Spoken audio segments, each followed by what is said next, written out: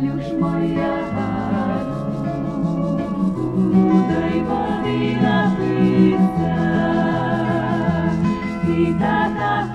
Cincinnati Kharkov Sister City Partnership, a mouthful commonly known as CKSCP, operates today on its original vision of a friendly and productive relationship with Kharkov, the Cincinnati area's sister city in Ukraine.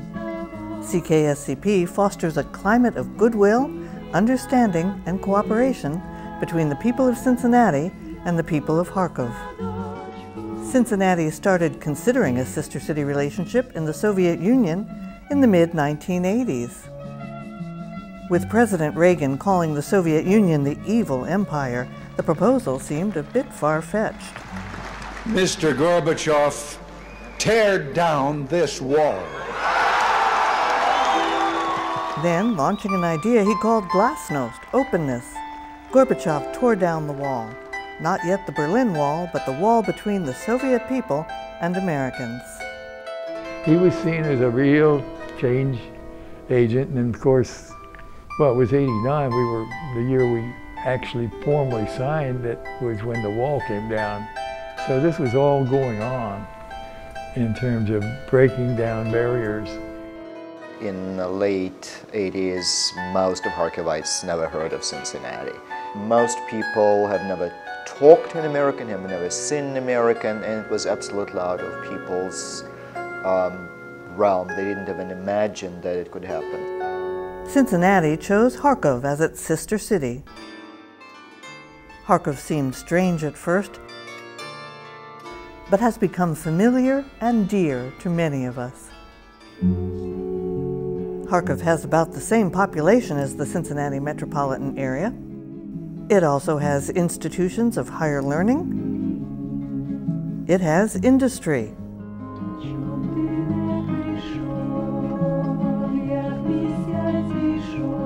Rivers run through the city, and agricultural lands surround it. CKSCP became a reality on September 11, 1989, marked by the handshakes of mayors and a groundbreaking Memorandum of Understanding specifying areas of cooperation. All the people involved with our organization and with Kharkiv we're very keen on having a very broad-based um, exchange of ideas and programs. Well, the Memorandum of Understanding was a document that was negotiated each year between Kharkiv and Cincinnati and signed by both parties, um, outlining all of the areas of exchange for the upcoming year. We were recognized as the only sister city pair in the world that was doing something like this. After the handshakes and paperwork, the Cincinnati Kharkov relationship developed exactly as envisioned by President Eisenhower when he established the Sister Cities program in 1956 with its spotlight on direct people to people diplomacy. How do we strengthen friendships? How do we learn of others? But I am talking about the exchange of professors and students and executives we have youth and education exchanges. We have professional exchanges in the field of medicine and law. Uh, we had business and trade ventures, but perhaps the one we're most well known for is our cultural exchange. We've had performing artists, dance and music groups, uh, graphic artists, photographers. We had education, we had substance abuse, we had architects, we had you know, just all a myriad uh, musicians and artists and you know, sports and just all sorts of things. Uh, and everyone was cooking up something. I am very glad that relations between Cincinnati and Kharkiv are developing and they are filled with new meaning. With all those exchanges and people going back and forth, it was extremely exciting and, and, and um, well, it changed all of us. Мы узнаем больше друг о друге, и это только будет способствовать тому, чтобы мы дружили и чтобы был мир на планете. Uh, uh, there will be more exchanges on uh, from children to uh, to adults to cultural exchanges, uh, and that's going to bring both societies closer and closer each day. It really provides a, a very concrete, real sort of way for you know, people who oftentimes are of very different cultures and very different backgrounds to actually engage with uh, other, you know, people in other cultures and other places in a way that's very real and, and brings about long-standing, lasting relationships. You know, this was a citizen-to-citizen thing. This is not uh, international politics. This is people getting to know each other in a very interesting moment in history. It's just a tremendous outpouring of, uh, of interest and exploration between what had been two societies that had had very little to do with each other. You know, it was just a, really a flowering of, uh, of good spirit on all sides. It was embraced not as much by the government as it was by people in Cincinnati, groups, young people. I mean, they were the energy in those first years behind the exchanges that happened. That was really a hoppin' sister city relationship. When we Cincinnatians went to Kharkov, it seemed everyone wanted to meet us, feed us, and entertain us. We were celebrities. Everywhere we went, people knew who we were.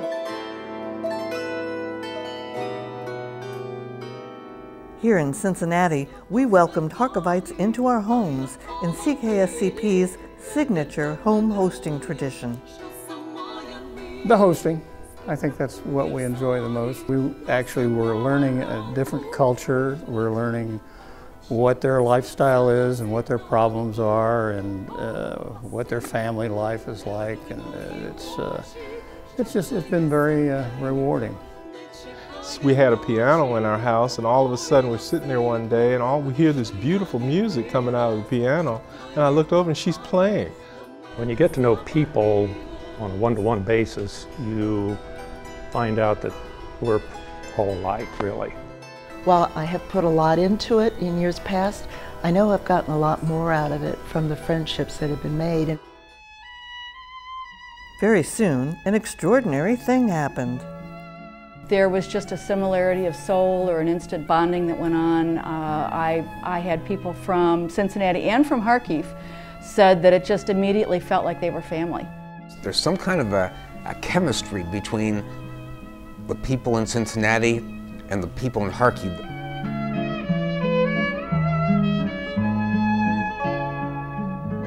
Two years into the Cincinnati-Kharkov relationship, a historic event took place. The Soviet Union broke into 15 countries, resulting in Cincinnati's having a sister city in the newly independent country of Ukraine.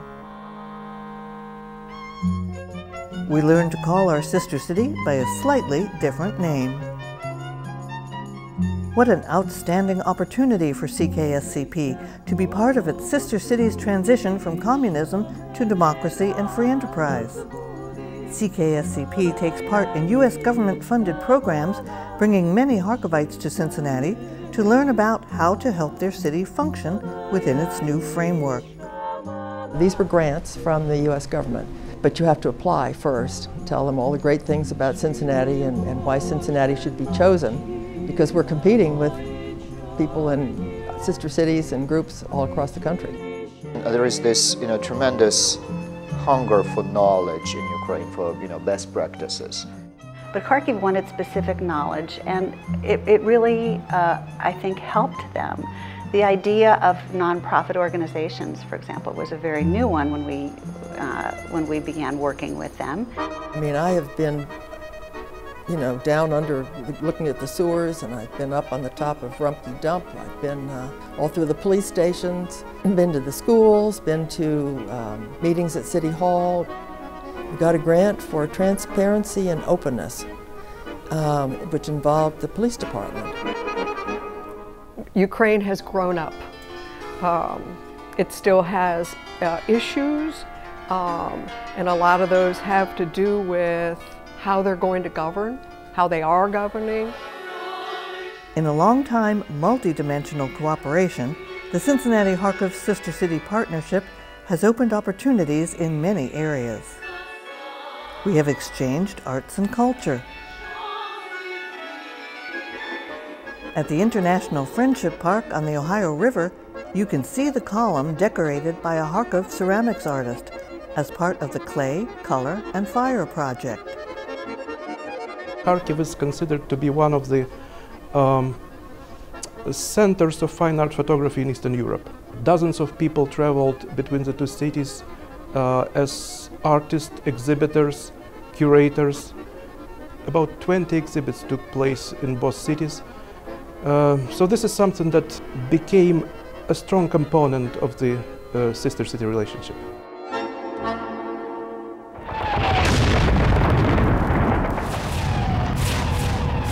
All these women came with medals, and nothing I had read had said that women had been in combat in the Soviet Union in World War II. But almost a million were in, in combat, the largest mobilization of women and girls in history.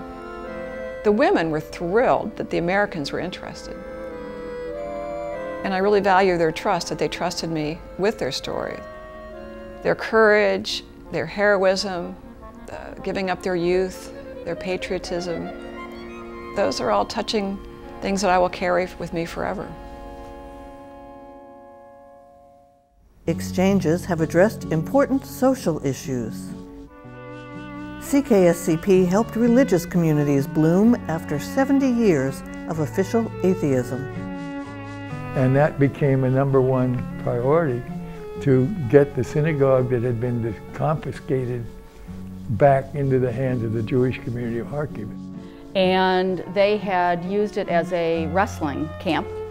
You know, there were barbells and mats, and, but it was not even a, a sports center that was in good repair. It was just a big, messy old gym.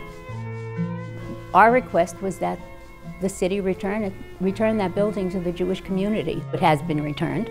There is a functioning Jewish community there. Without the Sister City project, and I could ne never have accomplished what we accomplished together.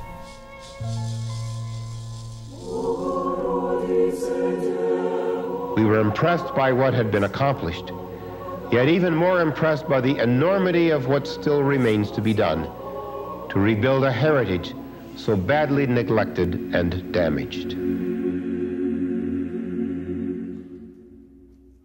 Through a State Department grant, we helped Kharkov women fight skyrocketing domestic violence during the chaotic years immediately following independence.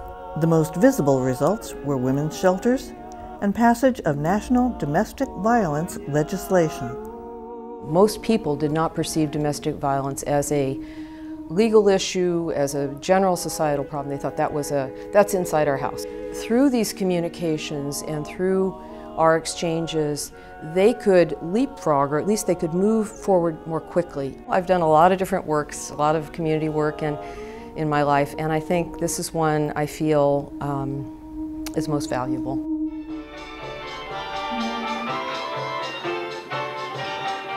Youth exchanges have brought understanding to the next generation.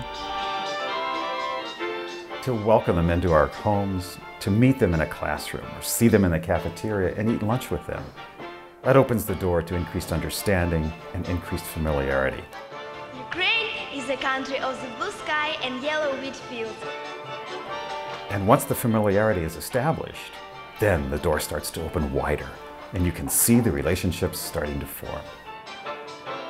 Nativity gives us a chance to understand that this world is a beautiful one and we live here to make friends and to understand that we're all just common people. One of the highlights, I think, of my uh, 25 years uh, was working with the, the Teen Exchange. And they were allowed to go to orphanages and, and teach volunteerism over there. So I had these kids draw pictures. What did they want to say to kids over here? So I've got these pictures I, I made into a couple of exhibits. Uh, I've got a girl who drew a cottage with a kalina tree outside with the berries. And this boy drew a picture of a globe and he had the US on one side and he had Ukraine on the other side and a space shuttle going between them.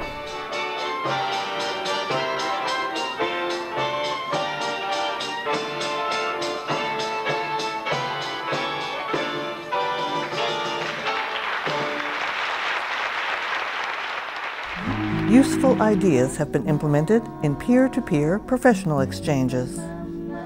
Ideas from Cincinnati helped with remodeling of the Kharkov Zoo, helped Kharkov introduce energy efficiency technologies,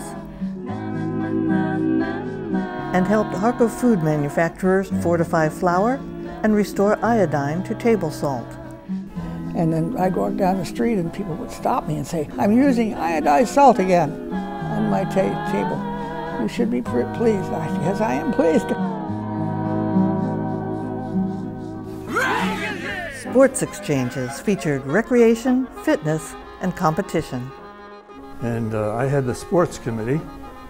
And one of my first uh, bits of work on that was organizing a bicycle exchange between a, a cycling club in Kharkiv and the Cincinnati Cycle Club.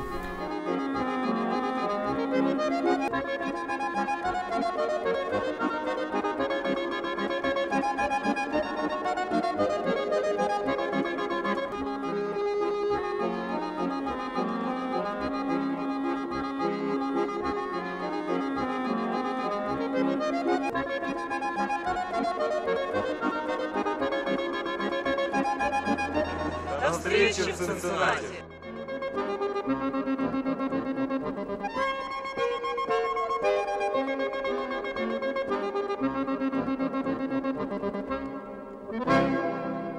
We have initiated relationships, linkages, progress.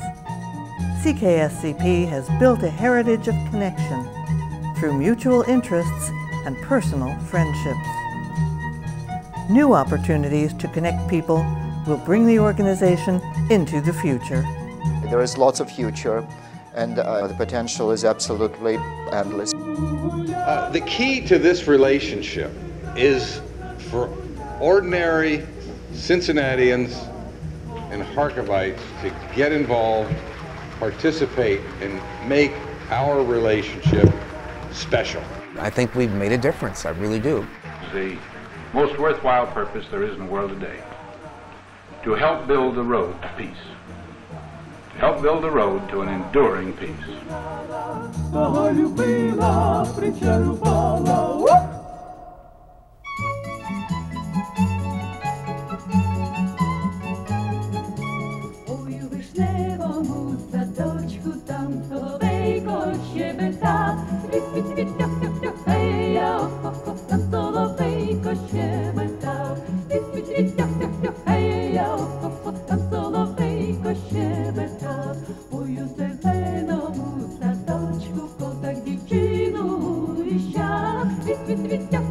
Hey.